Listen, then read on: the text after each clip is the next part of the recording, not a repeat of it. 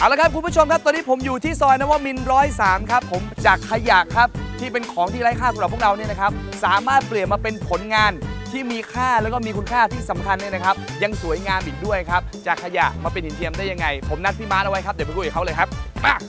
สวัสดีครับ สวัสดีครับพี่มาร์ทสวัสดีครับ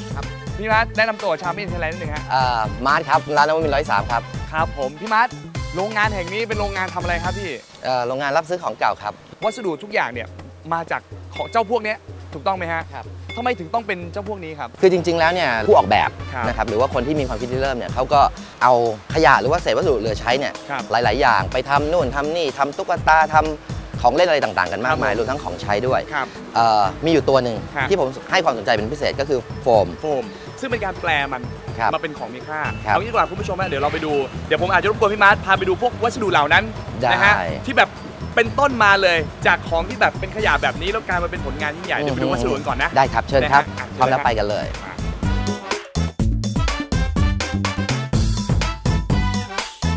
นี่คือเอ่อขุมทรัพย์โฟมนะฮะ สวัสดีพี่ๆทุกคนครับ สวัสดีฮะ สวัสดีครับกำลังขมักเขม้นเลย พี่มาร์ทตรงนี้คือคือขุมทรัพย์จริง ๆ ใช่ไหมฮะ นี่คือโฟมทั้งหมดเลย ใช่ก็คือโฟมที่เราเหลือจากการใช้งานเนี่ยครับจะใส่ตู้เย็นทีวีคอมพิวเตอร์ครับทุกอย่างเอ่อวิธีการทำเนี่ยเราก็คือเราก็เริ่มจากมองมองก่อนว่าวัตถุดิบของเรามีอะไรบ้างฮะนะแล้วเราจะเอามาทำอะไร ครับทีนี้ก็จะเป็นเรื่องของการออกแบบดีไซน์ละว่าจะหยิบชิ้นนี้มาใส่กับชิ้นนี้ แล้วก็แกะเกาเพิ่มหน่อยหนึ่งอย่างเช่นอันนี้เขาอาจจะมาเป็นอีกรูปทรงหนึ่ง อะเป็นแบบนี้นะฮะ แล้วโฟมมาต่อกันนะครับ คุณผู้ชมสังเกตดูจากโฟมปกติธรรมดาแบบนี้เนี่ยนะ เนี่ยนะฮะแบบนี้ดูไม่เป็นรูปเป็นร่างเลยนะ เปลี่ยนมาเป็นแบบนี้ใช้ความสามารถหน่อยศิลปะเก่งๆหน่อย ก็มาเป็นรูปร่างแบบนี้นะฮะนี่นี่คือขั้นตอนการที่จะแปลจากเอ่อเศษโฟมธรรมดา เป็นผ้าเริ่มให้มันมีเรื่องราวขึ้นมานะฮะทีนี้ขั้นตอนต่อไปก็คือการทำให้มันใช้งานได้จริงนะเดี๋ยวเราก็จะพาไปดูต่อว่ามันทำอะไรได้บ้างได้อันนี้ให้ดูเบื้องต้นก่อนว่าวิธีการก็คืออย่างนี้นะครับ มีการตัดแต่งมีการออกแบบแล้วก็อ่าขัดให้ผิวมันเรียบร้อยมากขึ้น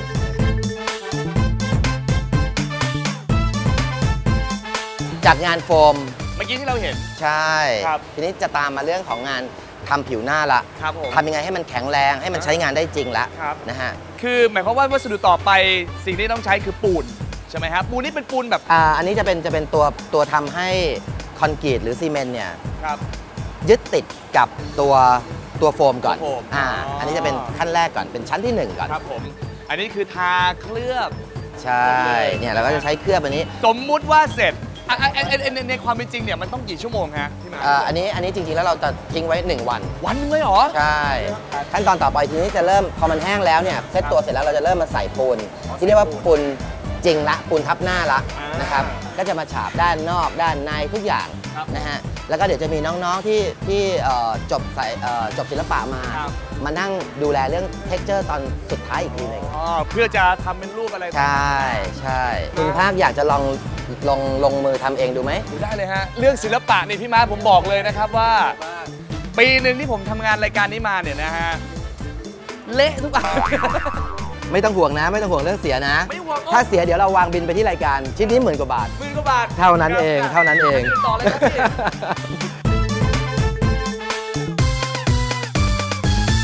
หินมันต้องมีแบบนี้ นี่เขาเรียกว่าฟอสเซล พอดีกว่า แค่นี้ดีกว่า แค่นี้ดีกว่าประมาณนี้ประมาณนี้ สมมติว่า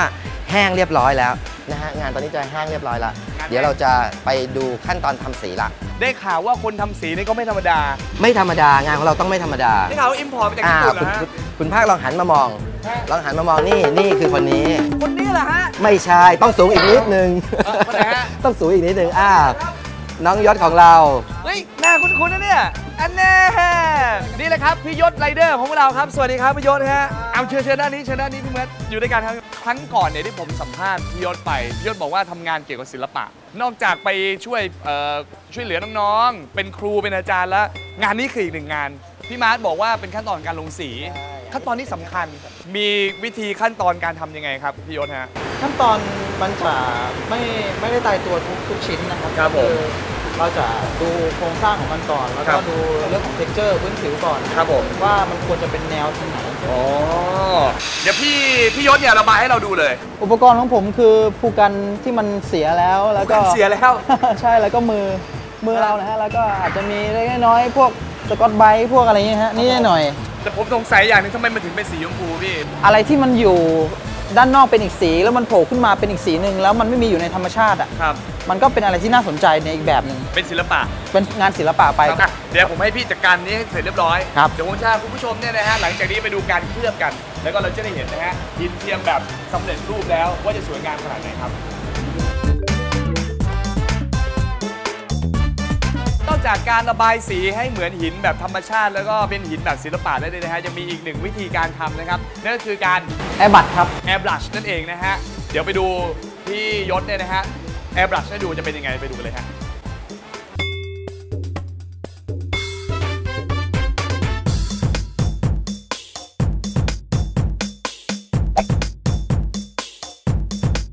ตอนนี้พี่มาร์ทพาผมมาที่ Gallery Stone นะครับ เป็นที่รวบรวมหินเทียมนะครับ ที่เสร็จหมดเรียบร้อยแล้ว ใช่สวยงามทุกอย่างนะครับ อยู่ในบริเวณนี้ทั้งหมดเลย เจ้าเป็ดด้านหลังเนี่ยนะฮะ อืม นั่นก็คือนี่ตัวนี้ หินเทียมเหมือนกัน นี่ก็คือหนึ่งในผลงานของเราเหมือนกัน ครับ เบาแค่ไหนก็ดูเอาเพราะมันลอยน้ำได้ มันเบาครับ สีอันนี้เป็นสีที่ใช้สำหรับภายนอก ครับ ความเงางามของมันความคงทนของมันอยู่ได้นาน อืมเดี๋ยวเราไปดูบรรดาหินต่างๆ กันดีกว่านะฮะได้เลยอ่านี่คือ Apple ใช่ อันนี้จะให้เห็นว่ามันมีอิสระในด้านการออกแบบมาก ไม่ว่าเราจะทำอะไร อ่าอุ้ยมันขยับได้ ขยับได้ขยับได้ มันไม่ได้หนักใช่ใช่ คือน้ำหนักก็เบานะครับผมจริงๆก็มีความแข็งแรงนะเดี๋ยวผมลองทดสอบดูนะฮะได้เลย